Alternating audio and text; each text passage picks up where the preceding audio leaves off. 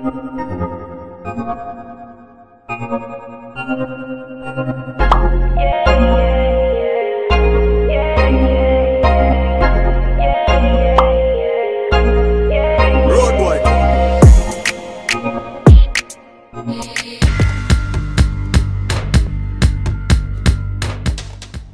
guys welcome back to the channel once again if you are new here please consider subscribing.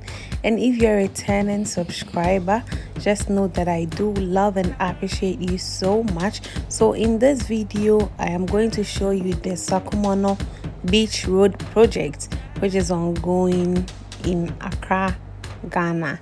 So i passed by today and then i got the chance to show a few clips to you. I think this is the biggest beach road i've ever seen. And then i can't wait for it to finish. Like i can't wait for them to complete it and i hope they complete it soon. Before i uploaded this video did you ever know about this Sakumono beach project?